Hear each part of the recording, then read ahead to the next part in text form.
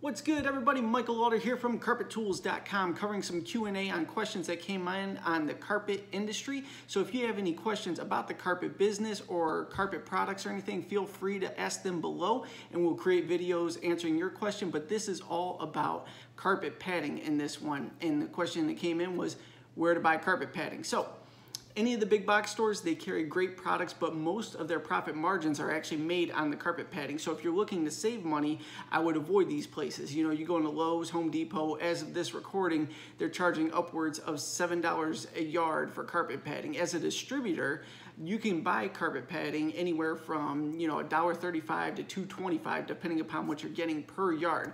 So, I mean, that is a massive markup there. So you as a consumer, where can you buy carpet padding cheap? Well, Craigslist is a great place because installers usually have leftover rolls from their jobs and they'll fire sell them for quick cash on there. So you can scour Craigslist, see if you can get a deal. If you're not having any luck there, uh, just start doing Google searches on who your carpet distributors are in your area and who sells carpet supplies, carpet tools, things like that. Those are the people you want to reach out to and you could actually save a tremendous amount versus going to the big box store. So you may not be able to pay what we pay as installers, but if you can get it for $3 per yard or less, you're doing pretty darn good there and saving a tremendous amount versus the big box stores.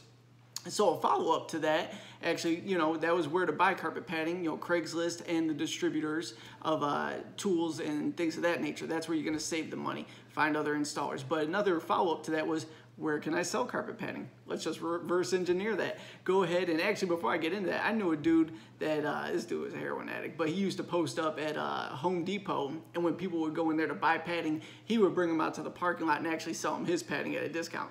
Don't do that, that's crazy. But anyway, just post your extra padding on Craigslist. There's people always looking for it. It's the easiest way to sell it if you don't mind dealing with some of the yahoos that are gonna come through that way. So, where can you sell carpet padding? Craigslist is a great way. Where can you buy carpet padding? We covered that earlier. So, any other questions on the carpet industry, like I said, comment below. I'll create a video just for you. I appreciate you tuning in, and I'll catch you on the next video.